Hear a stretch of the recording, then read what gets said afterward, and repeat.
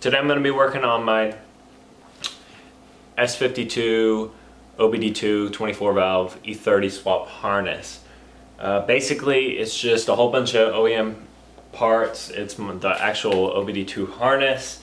Uh, you need a couple of like coolant. You need a brown top coolant E30 sensor.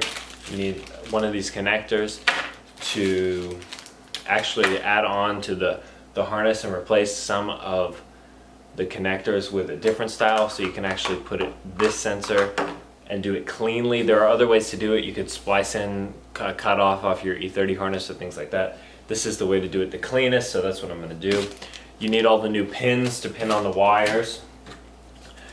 On very early models, 84 and 85, they have a square connector, but everything after that has what's called a C101 connector. It's this round connector that goes onto the chassis harness. So this is where your wiring harness connects to your chassis. You need a whole bunch of pins for that. These right here.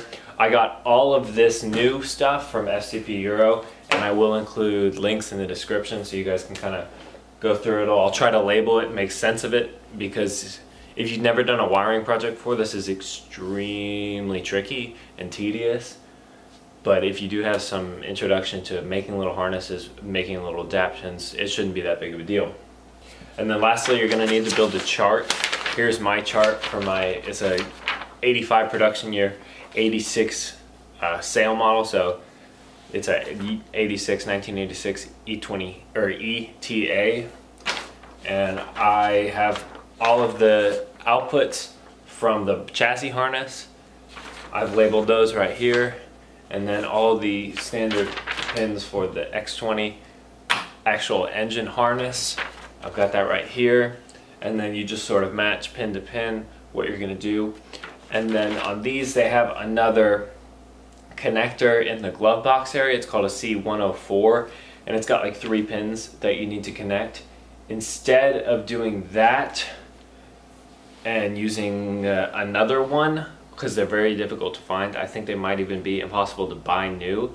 What I'm going to do is cut those off and then replace it with an entirely new connector, an 8-pin connector, so that when I get my ECU, I can add in new pins and new signals very easily.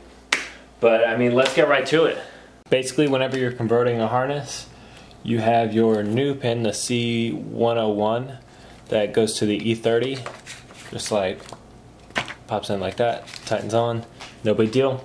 And then you have your old pin. This is the X20 that fits on an E36. More pins in the X20. Definitely have to eliminate some, but we'll probably fill up about half of the C101. All I'm gonna do is go through these wires that I've already trimmed. Find the uh, find the colors that I absolutely need. So we'll start with like alternators. Here's the blue wire. That's the alternator. And I just went and I labeled everything on this harness that I could.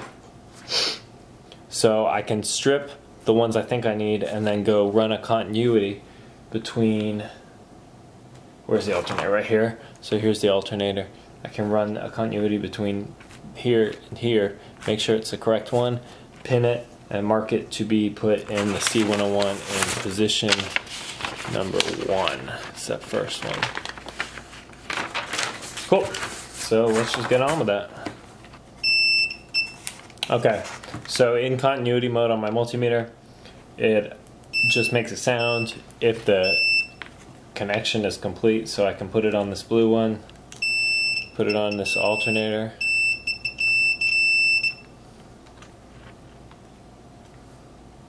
And it goes to this wire right here, obviously, because it beeps. Now, I tried this with the crimping tool, it doesn't work just do it with a little, just do it with these.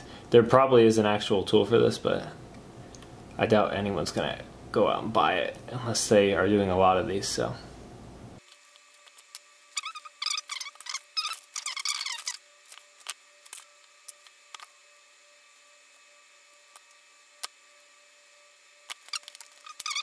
After all those have been pinned on, and crimp down, all you're going to want to do is put some solder in there.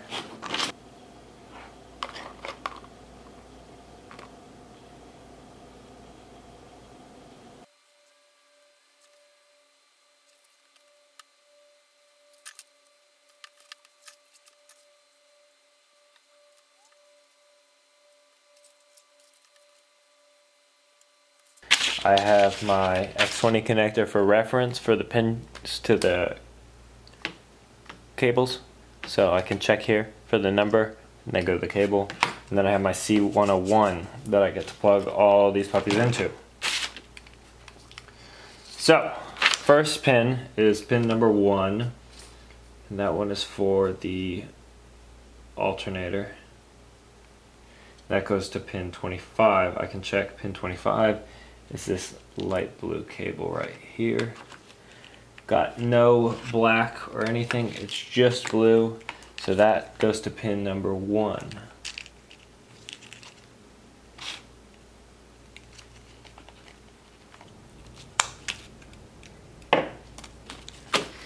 Next is oil pressure, which is uh, pin 5. Go to 23 on this one. These pins are going to be different for you guys. You're going to need to come up with your own list.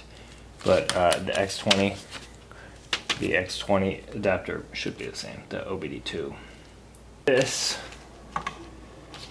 is our rear O2 sensor. We Now, I don't need these rear O2 sensors. You might. I don't know what you're doing with your life, but I don't. So all I'm going to do is kind of map out the length that I want, cut just a smidge extra, cut this rear O2 sensor off just like that. Now these will be the wires that we use for our new oil level sensor for the E34 oil level with our new connector right here, our new boot, little waterproof boot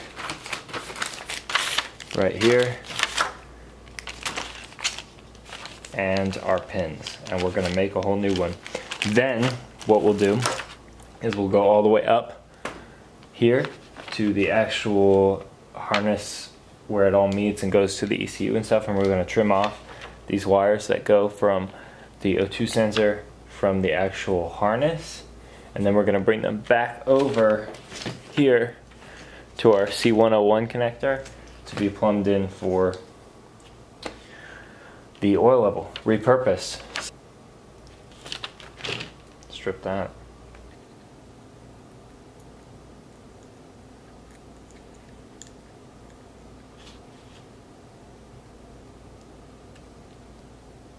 These I just need to solder and then they'll pop them in here. One, two, three. Bada bing, bada boom. That'll be that. Look how clean that looks. Awesome. I can get rid of this one, I believe, too. Reverse fuel. This is totally unnecessary. I can totally eliminate it, but I'll go through that in a second. Okay, so I found out this wire is this wire, but just by pulling on a bit, see it's shorter. So if I pull, or if I, oof. But this is the wire. So I can go separate all these. Bring this puppy.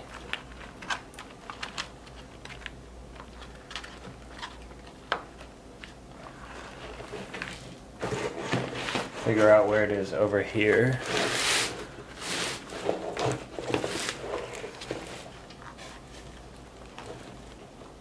So I can confirm that I just found this wire. Go back as far as I can. Cut it off, pull it out. There we go, that's long enough to get all the way over there. I'm gonna try to push this straight through. See how that goes.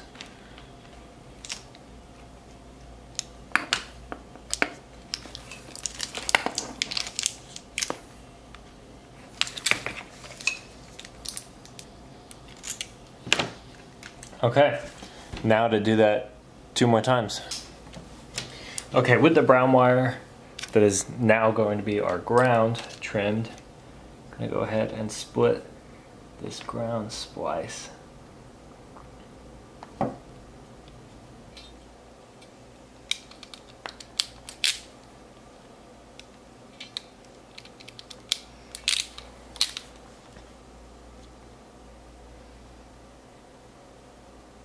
Now that everything's soldered, go ahead and put these puppies in. What was this? Uh, this is going to be my static pin two.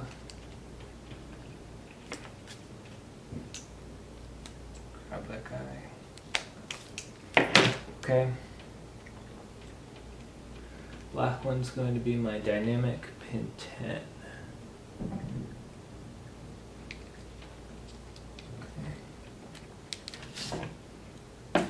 All right, for the new coolant temperature sensor for the cluster on the E30, you're gonna take the standard uh, OBD2 temperature sensor, which doubles as for the E30 and, or sorry, for the cluster and for the ECU. You'll trim off one and two right on the connector. And then I'm gonna make a slit somewhere right about here-ish, just in the sheath.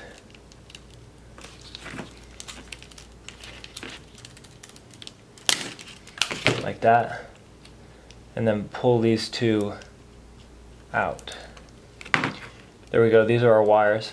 Now I'm going to use one of these, you only need one for the E30 cluster sensor.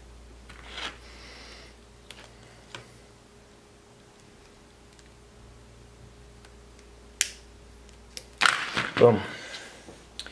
Just gonna go ahead and solder all these, put all the connectors on, and button it up pretty much. There we go. Definitely was having some issues before. On here.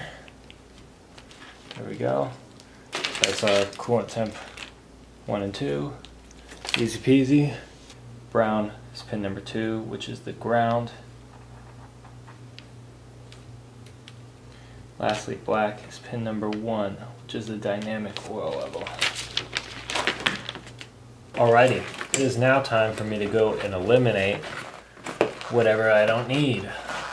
There are a bunch of things in here that are just unnecessary. Like for example, this big red power cable, don't need it.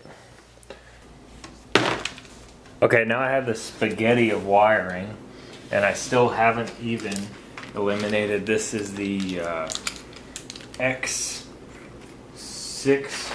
six or 60 61 connector right here, I believe. And the only thing you need from here is this is all like uh, secondary air control emission stuff. The only thing you need from here is pin one, which is for the OBD2 check engine light.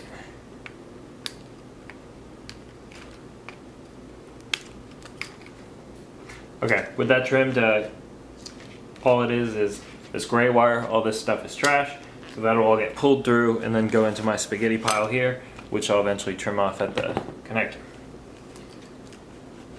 And that's it. See how easy that is? So here's my vehicle speed sensor. I know I ran out of proper tape to label this stuff, but it'll have to do. This is gonna be my check engine.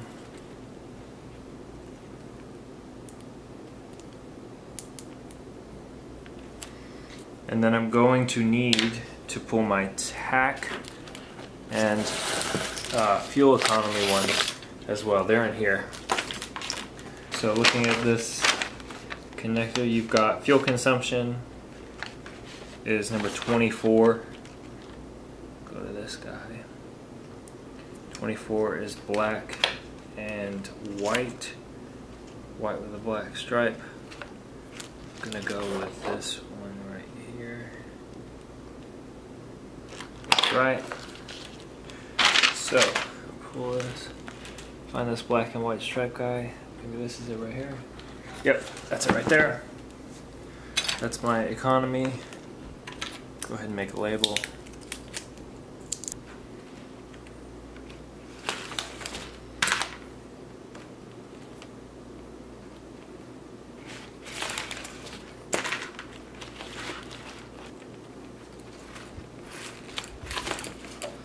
Got to remove, this is the evaporation purge, some sort of a safety, not safety system, some sort of emissions system.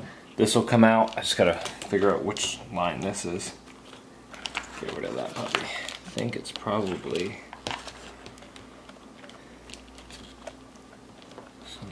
it's got a, it's got a yellow and a red wire to it. I think I saw it move. There it is, right here. This guy. Yeah. So we're gonna trace it back. Goes all the way over here to this relay.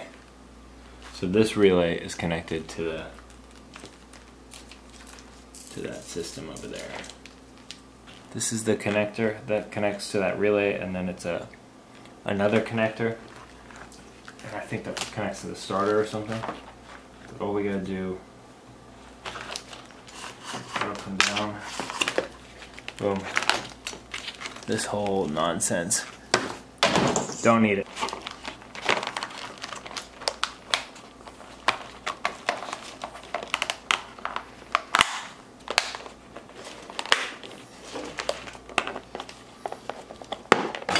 The last thing that I have to do is go ahead and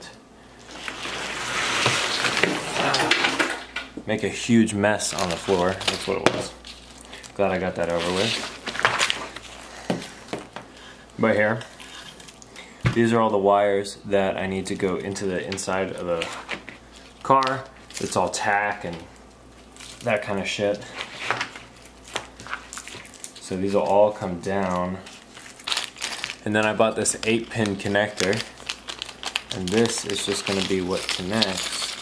Oh my lord, there's stuff everywhere.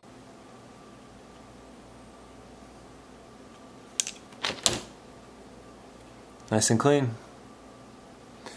That's our connector. So you don't have to screw around with those, those like MIA, or not MIA, NLA connectors, the C104s, you just replace the whole thing. You have to do the same thing on the body harness, but you saw how uh, how easy and clean it is. Boom, this is my connector. It'll run my tach. It'll run my it'll run my everything. It's not a big deal.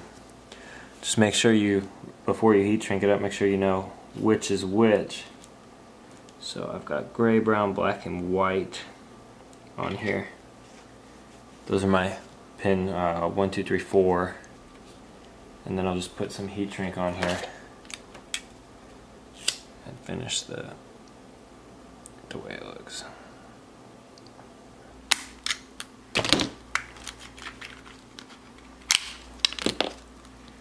Oh yeah, okay, definitely needed to do that.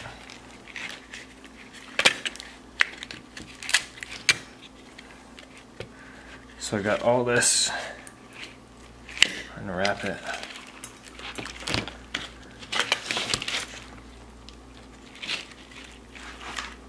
much freaking extra stuff. So all we'll do is go grab these, pull them one by one, figure out where they are, and just trim them off. Everything else, you're good to go. Okay.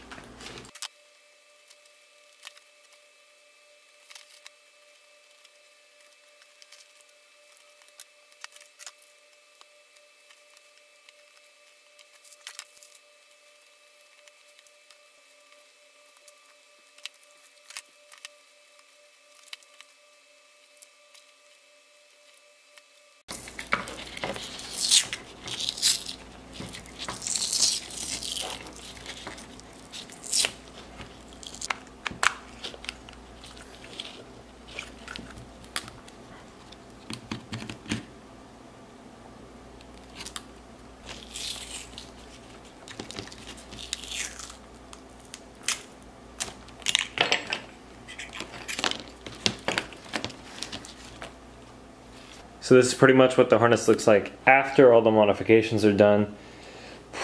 As close to factory as I could get it. I really wanted it to look clean, seamless. So you can't tell that this has been opened. Can't tell any of that's been changed. All this wiring looks factory. This is uh, the new connectors and things. This is the new oil oil sending unit alternator stuff I didn't touch. The starter cable. These relays have been slightly modified, as you guys saw. My MAF, and then my single OBD1, or sorry, not OBD1, E30 C101 port right there. Super clean. All the extra bullshit that was removed from this harness. It's amazing how much stuff is there. But this is uh, like X69 and whatever connector, and then uh, one of these connectors for I think fuel temp or something. I have a relay in there. I have that evap. I have a whole bunch of these power cables that weren't necessary, but that's how it looks. I hope that this was uh, helpful for you guys, seeing what you can delete, what you can't delete, what you still need, how to trim it all, how to crimp it all and everything. Uh, like I was saying in the beginning, that connector you're gonna have to figure out what your body harness is to get that correct, but everything else should be the same going OBD2. OBD1 I think is a little easier, there's less stuff to delete. That's an OBD1 right there that I pulled off the S52, but we're going OBD2 just for more control, better control. But look at that, finally happy. So it took several days, big project, but I think that this will be a good video for anyone trying to do it. Good luck. Peace out. There goes from my soul. There